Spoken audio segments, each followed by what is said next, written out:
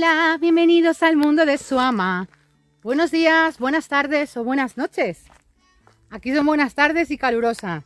Ya llega el calor. ¿eh? Pero es lo que toca ahora. ¡Ay, qué casita más bonita! ¡Ay, qué casita más bonita! ¡Ay! Si parece de cuento de hadas. Bueno, muchas gracias a los que estáis ahí siempre. Gracias a los que acabáis de llegar. Gracias a los que estáis llegando. Un millón de gracias. Recordaros que el mes de julio vuelvo a abrir grupo para el curso de orinoterapia espiritualidad, gestión emocional. Yo creo que es básico y necesario que quien aprende eso pues se puede liberar del sufrimiento, nada más y nada menos. Yo creo que la base de todo sufrimiento es la culpa y liberarnos de la culpa es empezar a ser verdaderamente felices y liberarnos de la ilusión. Así que eso es todo lo que comparto. Esto es para personas ya comprometidas, valientes, que no buscan alivios y que realmente quieren profundizar en su camino, destinado a todas las personas que quieran curar enfermedades físicas, mentales, espirituales, a personas que están atascadas, que dicen es que ya lo he probado todo y parece que no avanzo, pues eso es porque verdaderamente no has probado lo verdaderamente importante, que es la introspección. Y recordaros que os acompaño con el método Menso en tres meses de transformación. Y dicho esto, dicho esto, te voy a contar cada día pues lo que me vaya llegando, ahora me ha llegado esto porque me he dado cuenta, ¿no? En mi diálogo interno. Como también, claro, el diálogo interno lo es todo, ¿no? Si tú cambias tu diálogo interno, pues ya lo has cambiado todo en tu realidad externa, ¿no? Y hay una palabra que creo que es muy, muy importante, pues el tengo que, ¿no? Todos los seres humanos viven estresados con tengo que. Tengo que recoger a los niños, tengo que fregar los platos, tengo que hacer la cena, tengo que ir a trabajar. Y todo el día es un tengo que. La palabra es la pala que labra. Y nos cambia químicamente cada vez que verbalizamos una cosa u otra. De ahí que un entrenamiento mental también es básico y fundamental, cambiar el diálogo interno y escucharnos mucho lo que verbalizamos para poder rectificarnos. Pues cada palabra lleva una vibración, emite una vibración, por lo cual genera una causa en el exterior, ¿no? Por así decirlo. E incluso en tu interior, claro. Porque solamente por el hecho de decir la palabra rabia, y eso lo tengo comprobado con el test muscular, etcétera, con todos mis estudios, la glándula timo se cierra, por lo que esa palabra vibracionalmente nos baja la frecuencia y nos cierra la glándula timo. Pero bueno, esta es otra historia que ya os contaré en cursos y en vídeos. ¿Qué pasa con los tengo que? Pues que es una maravilla cambiarlos por quiero. ¿eh? Mirad qué diferencia tan grande. Quiero fregar los platos. Quiero ir a trabajar. Quiero recoger a los niños. Quiero planchar la ropa. Quiero hacer la cena. Y me estoy mirando los labios que me acabo de fabricar. Un pintalabios precioso, que ya os diré el vídeo.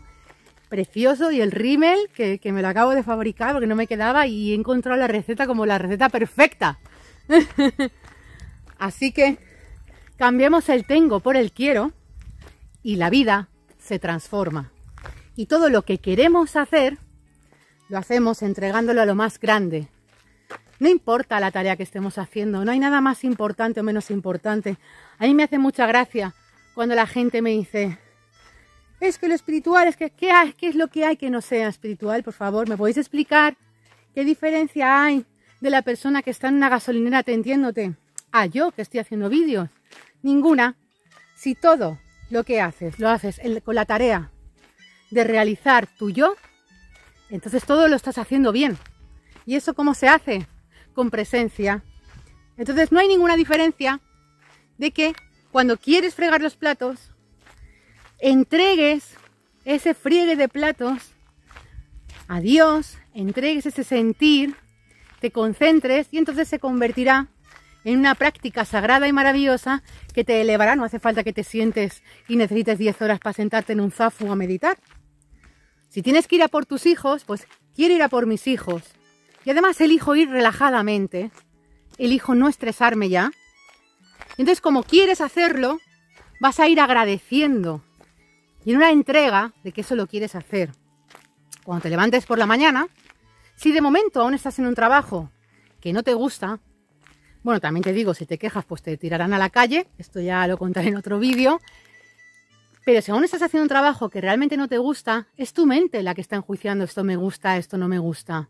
Elige, hoy quiero ir a trabajar, hoy quiero ser feliz, hoy quiero entregar todo este día al Espíritu Santo, a lo más grande en mí, a algo superior en ti. Yo es que ya sabéis que la palabra Dios y Espíritu Santo me, fascina, eso ya lo sabéis todos.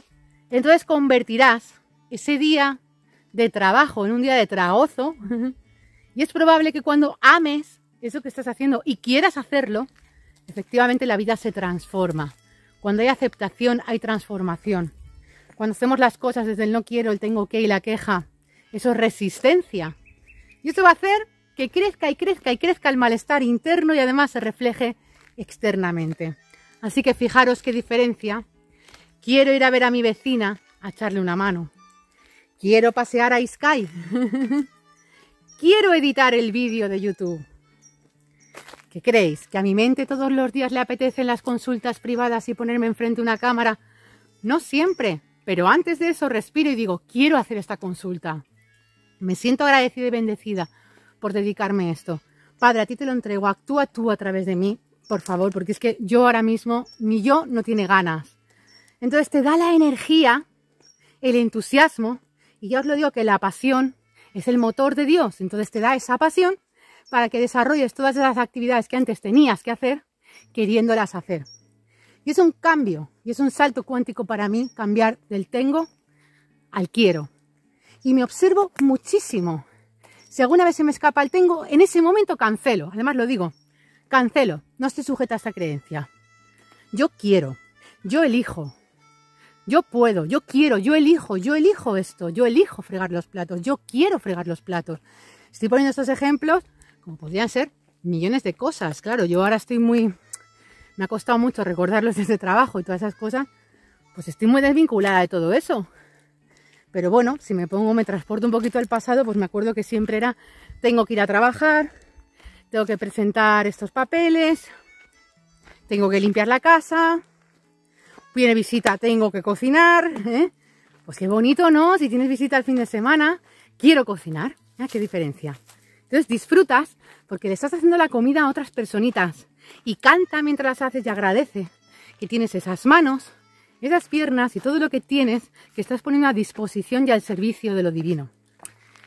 Y eso es lo que te quería contar hoy.